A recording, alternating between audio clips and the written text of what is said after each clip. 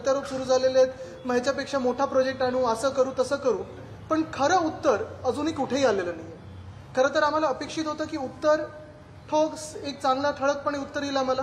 पण ते कुठेही न येता व्हॉट्सॲपवर थोडं इकडून तिकडून व्हॉट्सॲपच्या युनिव्हर्सिटीमधून वेगळ्या काही गोष्टी यायला लागलेल्या आहेत. आज खरं तर मी सकाळी एका व्हॉट्सॲपवर पाहिलं की कोणीतरी व्हॉट्सॲप असं फिरवतं मला माहीत नाही नक्की कोण पण दोन हजार पंधरा सोळाचा जो मॅग्नेटिक महाराष्ट्रामधला एम ओ यू होता फॉक्सकॉन बरोबरचा आणि मग हा वेदांत आणि फॉक्सकॉनचा वेगळा एम यू ह्याच्यामध्ये सांगड घालून लोकांमध्ये काही थोडं कन्फ्युजन निर्माण करायचं लोकांना भ्रमित करून द्यायचं की हे तेच होतं मग ह्यांनी असं कसं नाही केलं मग देसाई साहेबांनी सहकार्य नाही केलं. मी सकाळी देसाई साहेबांची आणि माझी चर्चा झाली.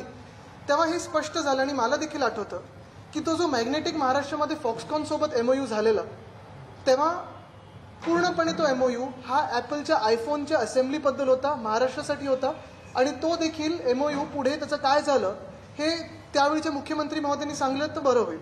पण हा जो विषय होता हा स्पष्ट विषय असा होता की सेमीकंडक्टर चिप्स ज्या डिसेंबर दोन हजार एकवीसमध्ये जगभराची परिस्थिती बघून केंद्र सरकारने शहात्तर हजार कोटीचं मला वाटतं सबसिडी ग्रांट रिलीज केलेली आणि त्याच अनुषंगाने आम्ही बावीस की एकवीस जानेवारी दोन हजार बावीस त्या दिवशी आम्ही अनिल अग्रवाल साहेबांबरोबर आम्ही चर्चा केली बैठक घेतली झूमवर आणि मग त्याचा पाठपुरावा केला.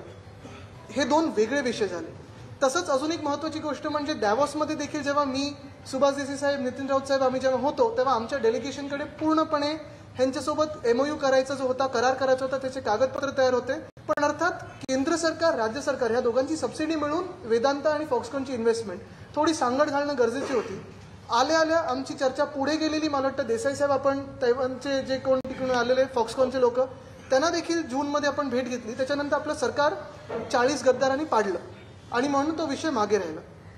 एक महत्त्वाची गोष्ट ह्याच्यात सांगू इच्छितो मी की आज देखील आपल्या महाराष्ट्रातल्या एक लाख तरुणांना नोकऱ्या मिळणार नाही ह्याची जबाबदारी कोण घेत आहे हे ह्या व्यवस्थेकडून उत्तर नाही.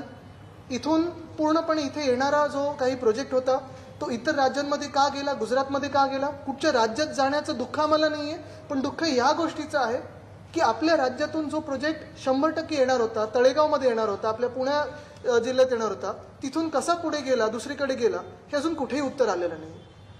तसंच दुसरी एक बातमी माझ्या कानावर आली मला